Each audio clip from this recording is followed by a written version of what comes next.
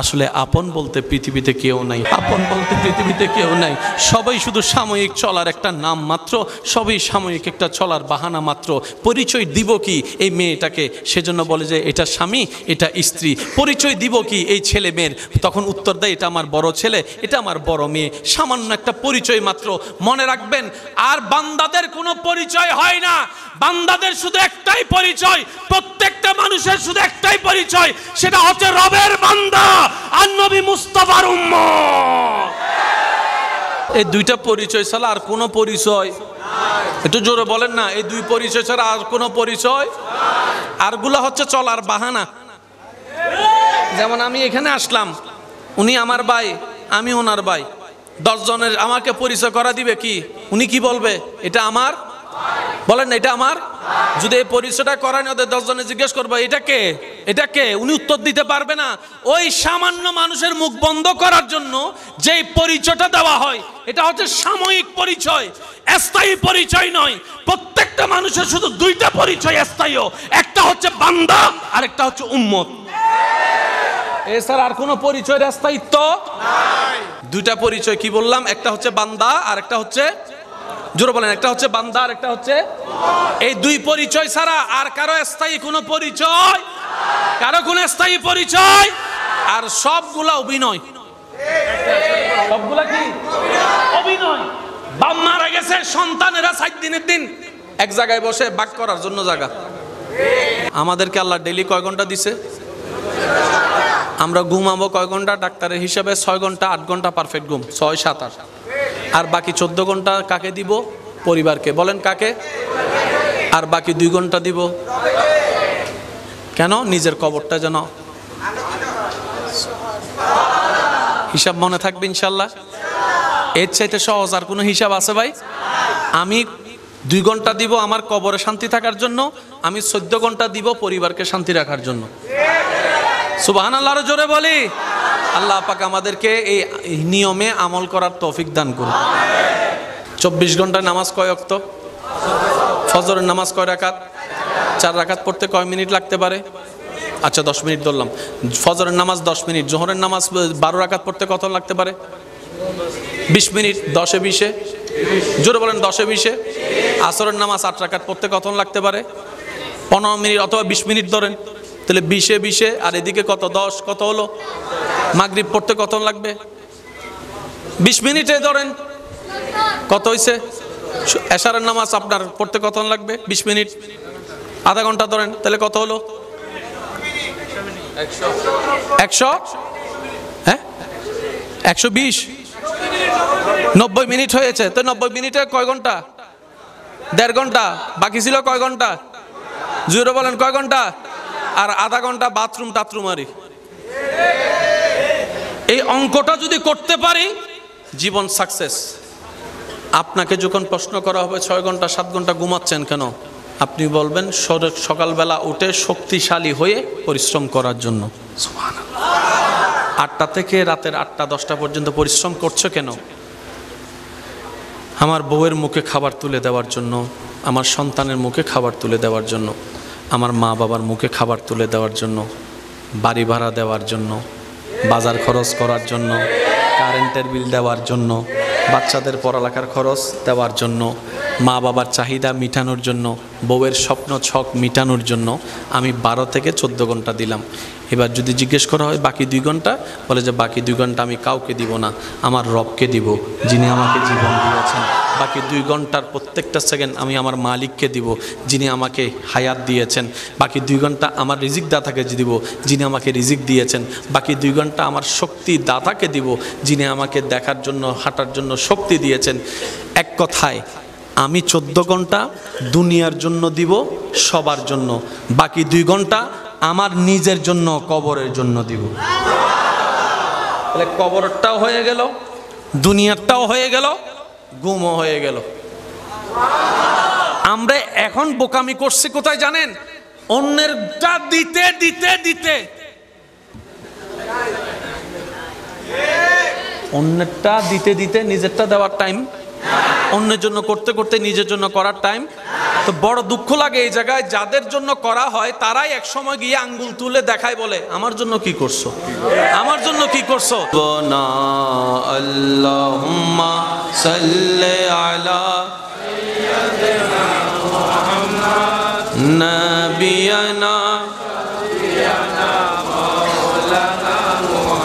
দরুদ পড় দরুদ পড় নবীর দরুদ ছাইড না, দরুদ সালাম না পড়িলে ইমান তাজা হইবে না।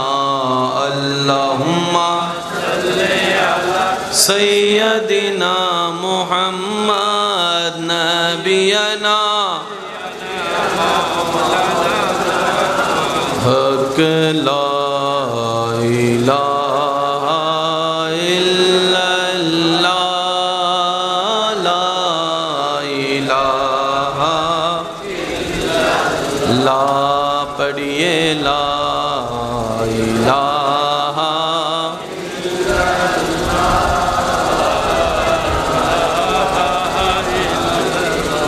हसबी रबी जल्ला माफ़ी कल्बी गैरुल्ला नूर मोहम्मद सल्लल्ला ला इलाहा इल्लल्लाह ला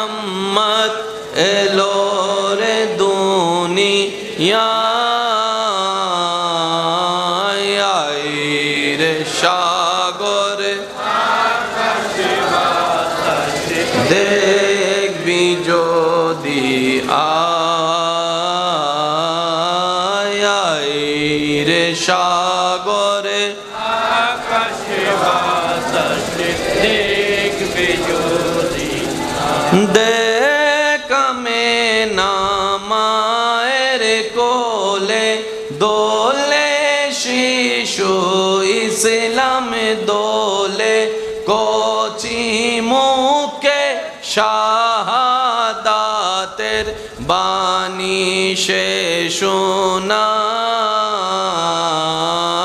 আয় রে সাগরে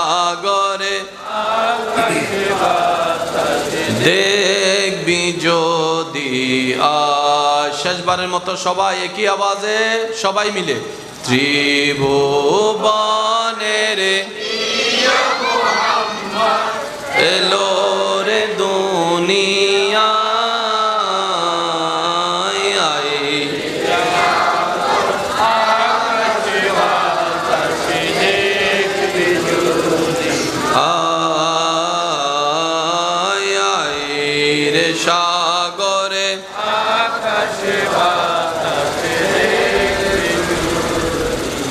অধ্যকায় অধ্যকার চাকতাই আটতদার ও ব্যবসায়ী সমিতির ব্যবস্থাপনায় এলাকাবাসীর আন্তরিক ভালোবাসা, মহাব্বত ও সহযোগিতায় বিশিষ্ট ব্যবসায়ী জনাব আলহাস মোহাম্মদ আবুল বসর সওদাগর সাহেবের সভাপতিত্বে বিশিষ্ট ব্যবসায়ী জনাব আবুল কাশেম সওদাগর সাহেবের উদ্বোধনে আজকের এই সজ্জিত আজিম উসান নুরানি ইমানি মাহফিলের মান্যবর প্রধান আলোচক মীর মোহাম্মদ নুন্নাহার জামে মসজিদের সম্মানিত খতিবে মোকররম, মুজাহিদে মিল্লত, রৌনকে আহলে সুন্নত, রৌনকে মিল্লত, হুজুর আল্লামা মৌলানা মোহাম্মদ হাসানুল হক আল কাদরি মদ্দাজিল্লুল আলী। মাহফিল সঞ্চালনায় খেদমত করে যাচ্ছেন জনাব, বিশিষ্ট ব্যবসায়ী জনাব রফিকুল আলম সদাগর সাহেব সহ আমন্ত্রিত বিশেষ মেহমান বৃন্দগণ এলাকার মান্যবর ব্যক্তিবর্গগণ, বিভিন্ন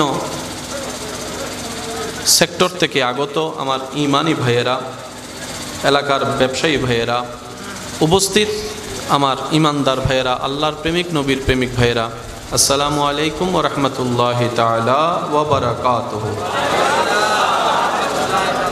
রব্বুল আলমিনের আলিশান পাক দরবারে লক্ষ কোটি শুক্রিয়া আদায় করে একবার বলি আলহামদুলিল্লাহ।